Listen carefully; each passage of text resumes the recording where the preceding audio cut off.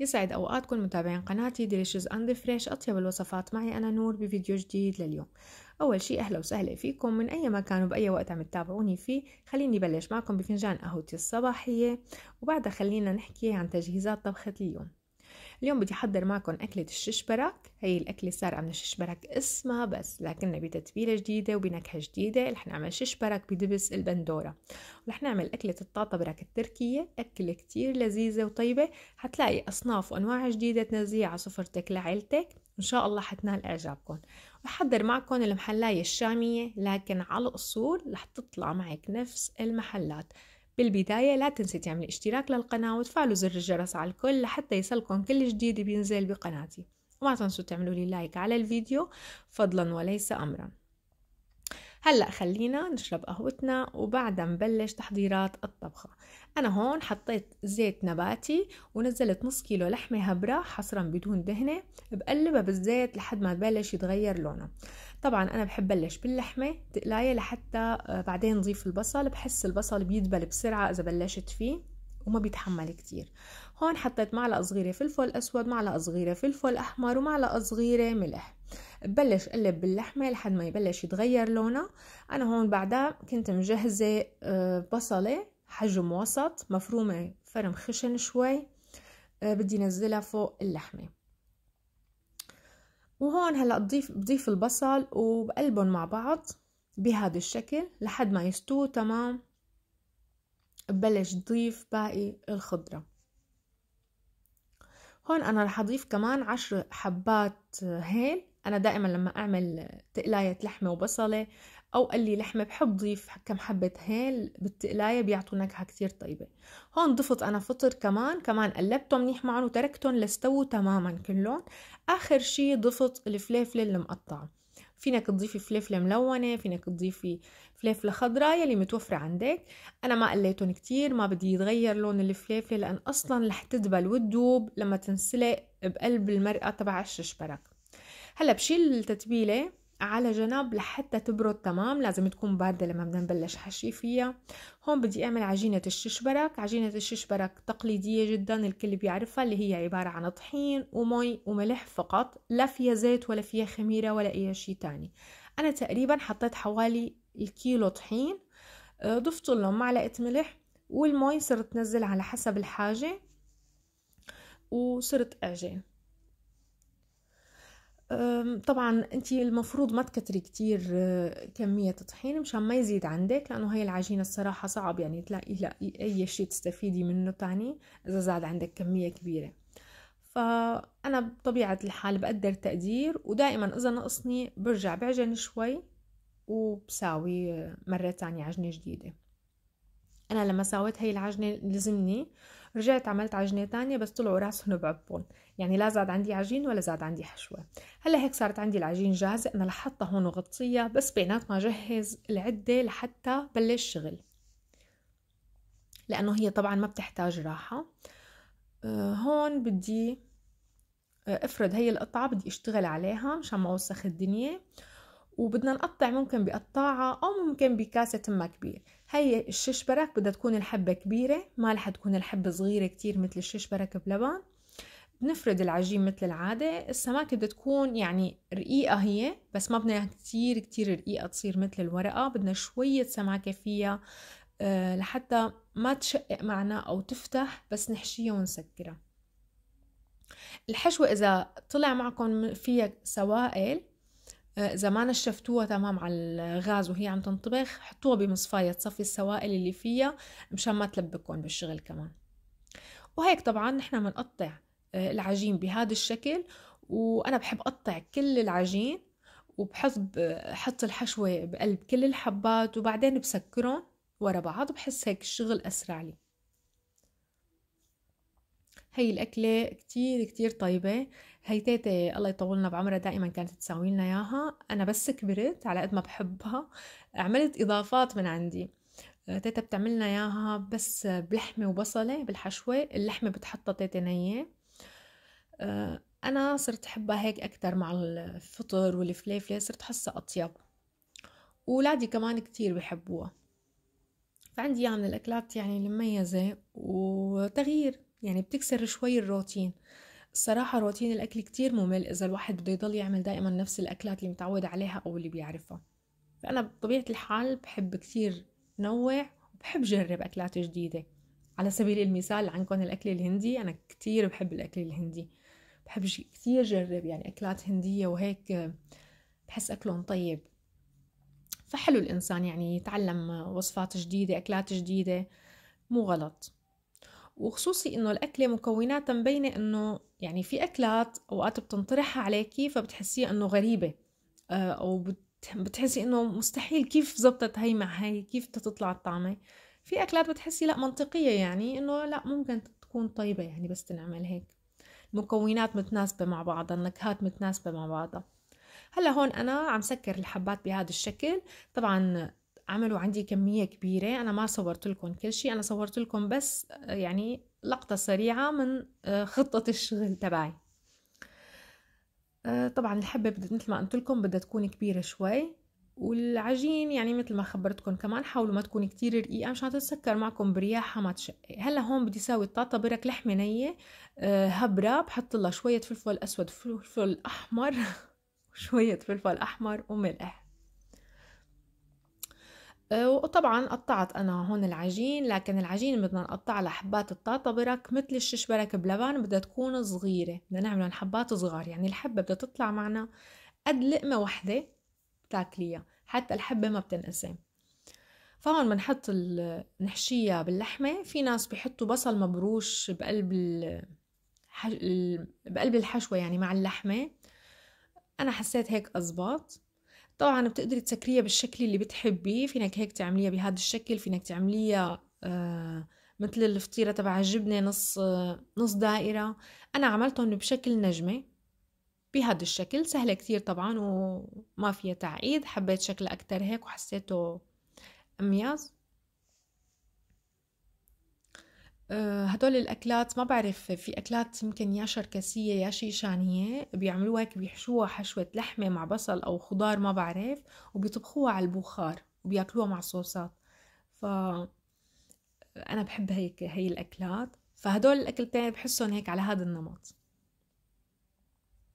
هلا هون أنا خلصت آه، خلصت الحشوة. أنا طبعا الطاطا برك كنت بدي أعمل تشكيلة بس يعني صحن مع آه، هاي الأكلة. وبما أنه بدي أعجن وأعجن وبدي أطلع لحمة وبدي أساوي تتبيلة فلذلك عملت هيك كم حبة. وهلأ بكمل شغلي وبركب على الأكلة.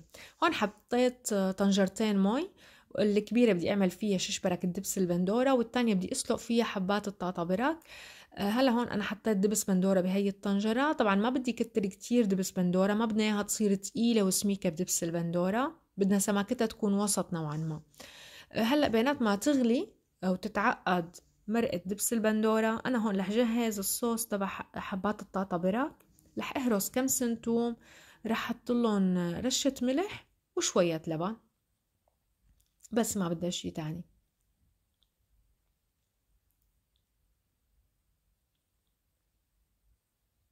طبعا أنا عملت شي يكفي الكمية يلي عندي. هلأ هون المي غلت تبع آه السلق رح سقط الحبات بهذا الشكل وبتركهم لحتى ينسلقوا ويستووا تمام مية بالمية.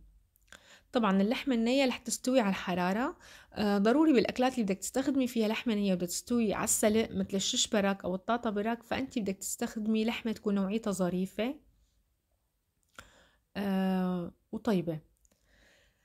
طبعا بياخدوا سلق بين العشرين والخمسة وعشرين دقيقة. طبعا الكمية كمان بتلعب دور. هلا هون أنا عندي آه، الشش برك بدبس البندورة. هون بدي سقط الحبات. طبعا أنا زبطت ملح المرقة وبنزل بقى هون وبحرك. كل شوي بتحركي لأن أول ما تبلشي تنزليهم فأوقات بينزلوا بيجمعوا بالسفل ممكن يلزقوا. فيفضل تعملي لهم تحريكة. هون بقى غطيتهم وبتركهم لحتى يستووا. بدك تنتبهي بس غلط المرأة مع الششبرك آه، ما يفور بتطلع رغوة دبس البندورة وممكن تفور إذا كانت مغطاية هلا هون صفيت أنا حبات الطاطا برك بحطهم بالمقلاية سمنة وشوية زيت أنا حطيت زيت معاها لأن السمنة دسمة شوي فحطيت كمية قليلة. طبعا أنا بدي هون شوي يطلعوا مبحبحين. هلا بتشوفوا شو بدي أعمل فيهم. هلا هون أنا حطيت فلفل أسود وفلفل أحمر ورشة ملح حبات الطاطا برك وقليتهم مثل ما بقلي المعكرونة بلبن. أه ما بعرف إذا أنتم كلكم بتقلوها مثلي للمعكرونة لكن أنا بحسها أطيب. وهلأ هون صارت عنا شيش برك جاهزة رح اسكبها بالصحن مستوية تمام والنكهة بتجنن. عن جد أكلة كتير طيبة وكتير لذيذة. إذا جربتوها إن شاء الله حتنال إعجابكم. وحبات الطاطا كمان هلا بدي اسكبهم بعد ما تقلوا بالسمنة السمنة يلي حتزيد بالطنجرة أنا رح أرجع حطها على الغاز وشغل الغاز تحتها لحتى حميها لأن بدي نزلها فوقهم.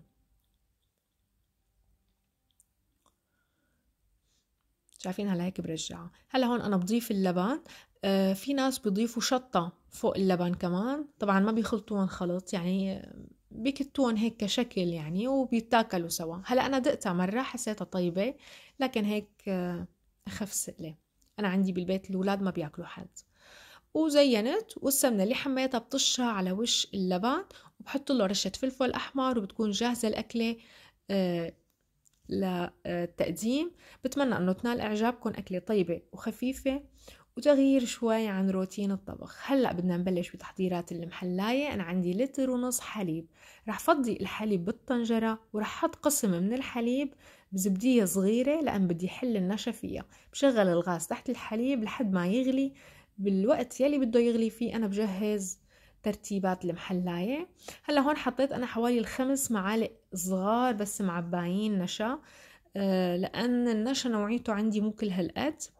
أنا بستخدم طبعا بدنا نستخدم نشا الذرة مو النشا العادي.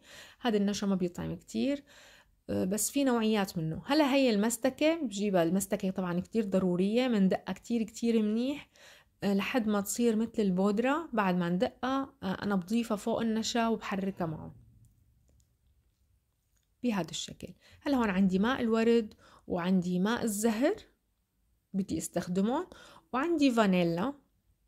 هدول بدي أحطهم ضيفهم للحليب لحتى ياخدوا نكهة طيبة.